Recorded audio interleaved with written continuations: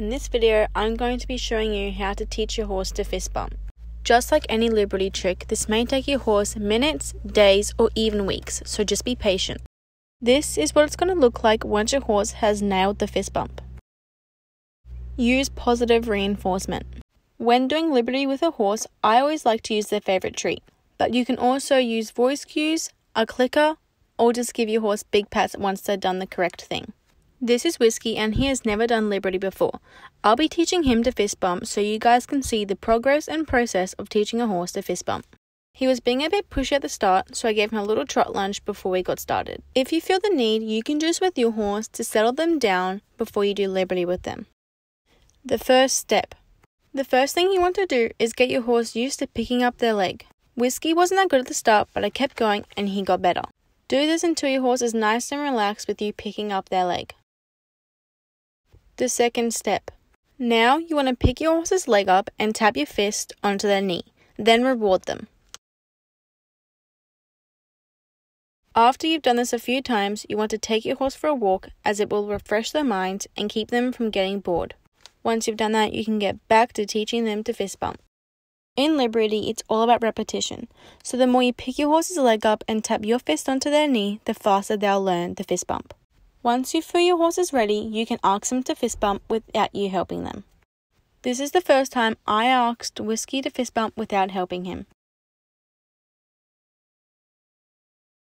As you can see, he didn't fully fist bump me, but he still lifted up his leg slightly, and that's exactly what you want to look for. If your horse does this, reward them with big pats and treats so they know they're on the right track.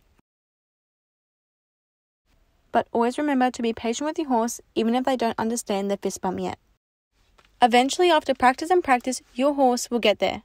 In these videos right here, Whiskey fully touches his knee onto my fist, and I reward him with big pats and treats. Do the same with your horse. Knowing when to give the treat.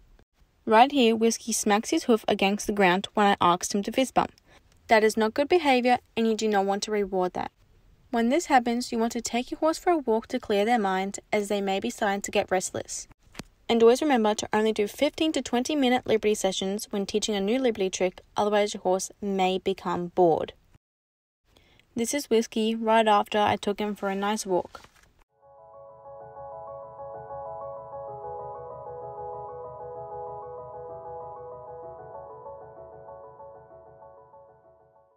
Teaching your horse the difference between hoof picking and the fist bump. It is very important that your horse knows the difference between hoof picking and fist bump, otherwise, they could get confused and will want to fist bump you while you're trying to hoof pick them. Pick up their leg and pretend to hoof pick, then, once they've done that good, then you can go and you can ask them to fist bump and give them a treat once they've done the correct thing.